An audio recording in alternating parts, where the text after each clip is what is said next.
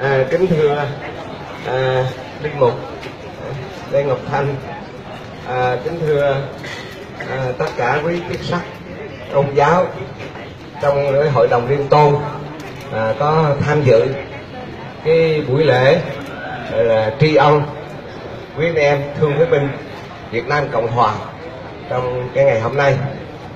Thì trước tiên cũng à, xin thưa à, cũng là quý vị lãnh đạo quý vị linh mục chức sắc của dòng chúa cứu thế. À, à, có hiện diện hôm nay. Thì à, cùng tất cả quý thương phế binh Việt Nam Cộng Hòa. Và cũng xin thưa với tất cả quý thiện nguyện viên à, đã từ lâu hết lòng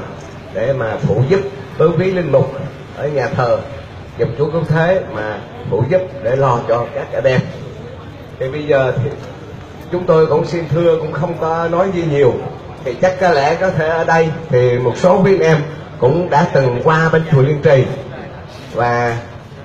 cũng đã từng thăm bên đó. Thì nhân đây á à, hồi nãy linh mục thanh à, có đề nghị tôi là gửi thứ nhất à, xin nói qua về cái tình cảnh chùa Liên Trì. Để cho quý anh em thương phế binh nào mà cũng đã có lần qua đó thì được biết. Thì à, chúng tôi cũng không có dài dòng chi. Thì nhân cái lễ này thì cũng không muốn nói cái chuyện riêng của cái cái cái, cái chùa mình làm gì. À, thật tình thì à, nhưng mà linh mục thanh đề nghị thì chúng tôi xin thưa là trước tiên á, thì chúng tôi cũng xin phải nói rằng kính gửi lời à, vấn an chúc lành về tinh thần cũng như sức khỏe đối với tất cả quý anh em thương với binh Việt Nam Cộng Hòa đã vượt qua bao nhiêu cái sự khó khăn bao nhiêu cái bất hạnh bao nhiêu cái sự đầy ải bao nhiêu cái sự gọi rằng là kỳ thị phân biệt. Và các anh em đã phải vượt qua như vậy là kể từ 1975 tới giờ đó là một cái đoạn đường phải nói rằng hết sức cam go, khó khăn và chính vì đó cho nên sau nhiều lần chúng tôi nhìn thấy cái tình cảnh đó thì chùa Liên Trì cũng có, đã có góp phần để mà chia sẻ, để mà tri ân với anh em thương với binh Việt Nam Cộng Hòa. Thì chúng tôi xin thưa lời lời đầu tiên là hết sức can ở cái tinh thần với anh em giàu trong cái cảnh gọi là thương tật,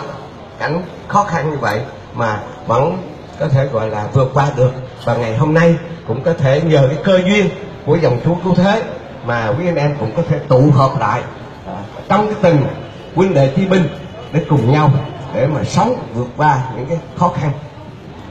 Thì ở đây chúng tôi chỉ xin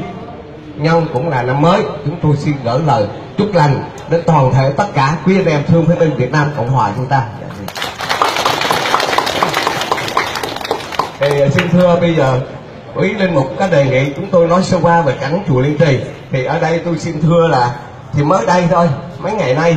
thì uh, quý phật tử ờ, họ có báo rằng là cái cái, cái ông chủ tịch chủ tịch mặt trận tổ quốc á ở, ở ở bên an khánh đó có gặp mấy cái bà dân on á mấy bà bảy lương mà bảy mà rồi mấy bà dân on mà thường vẫn sống nhờ ở bên chùa liên trì. Nói rằng là à, à, có thể bữa nữa đây hoặc là ra duyên thì sẽ giải tỏa cũng như là à, sẽ à, đưa chùa liên trì đi đến cái chỗ khác. À, chứ không có được ở cái khu vực đó. Khu vực đó sẽ làm cho làm cho khu đô thị mới thủ thiêm. Đó. Thì cho nên mấy bà dân on ở đó cũng cảm thấy lo lo và bây giờ vừa rồi thì không biết họ nói sao mà bây giờ ba bốn năm bà dân on vẫn thừa đó. Họ, họ, họ sợ quá bây giờ họ bỏ họ đi về rồi bây giờ tuốt cái dưới an giang ở dưới tiền giang. Chứ mấy năm qua là một số đó bằng ở đó. Thì rồi vừa đây nữa thì chúng tôi được nghe rằng là à, à, cái à, nhà nước có họp dân ở dưới cái phường cát lái á, giáp ranh cái tỉnh đồng nai. Họp dân nói là ít bữa nữa sẽ đưa cái chùa liên trì về về đến cái vùng đó thì quý phật tử họ có đến họ xem thì ở thấy trong cái vùng sâu tuốt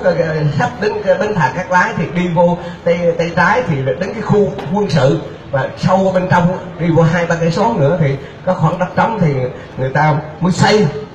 xây một cái căn nhà dài à, rồi ngăn ra làm bốn năm phòng lập tôn căn nhà tạm bợ thôi. À, thì à, quý phật tử mới hỏi rằng là cái nhà này để làm gì? Thì cái mấy cái anh mà gác và làm nó nói là xây cái nhà này để để cái làm cái nhà kho để mà ờ, ấy thì chứa chùa liên trì sau này. Đó là cái,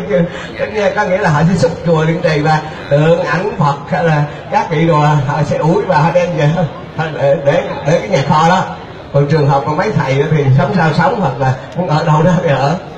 thì giờ sự thật ở đây thì đối với chúng tôi à, thì phải nói thưa với quý bác là chúng tôi cũng đã khổ từ 1975 thì chắc quý bác cũng biết là tôi